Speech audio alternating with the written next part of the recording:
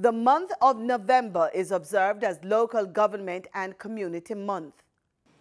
Effective local government is inclusive and can motivate united action in communities.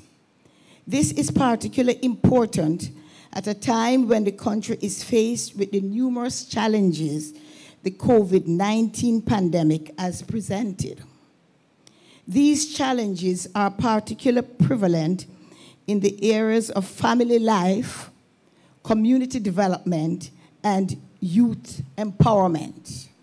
Minister of National Security Dr. Horace Chang underscored the importance of local government. We're in the middle of a pandemic in which the Ministry of Local Government plays a very critical role. He's not seen as often in the public space as the Minister of Health, but in fact, the entire management and operation of disaster risk management act comes under the Ministry of Local Government. And we are now at the height of the hurricane season in the Northern Caribbean. And we're going through the October rains. And again, the Ministry of Local Government is critical in managing and preparing us for any kind of extreme weather event at this point in time. Activities under the month-long celebration will be observed under the theme Building Resilience through Continuous Investment in Local Government. Today is a day of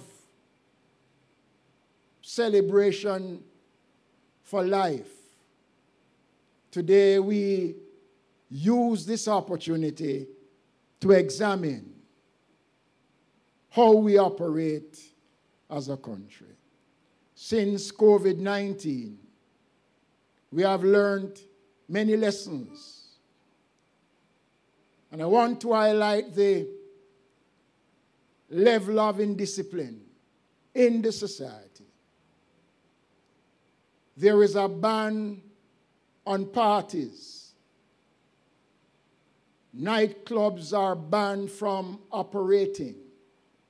But yet, the police, within the last 48 hours, have arrested and charged more than 100 persons who were found participating in various nightclubs across the country. Gunmen